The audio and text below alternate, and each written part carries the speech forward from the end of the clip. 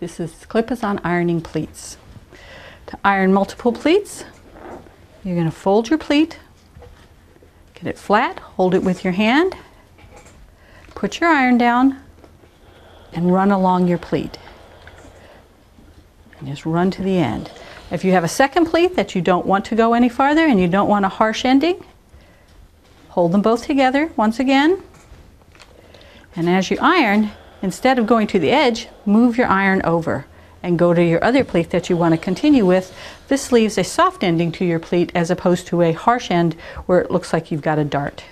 If you've got a pocket next to your pleats, you can iron them all at the same time.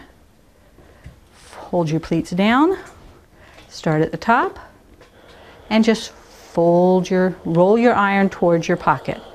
If you're going to go straight down, go down your pleat. And now you have perfectly ironed pleats.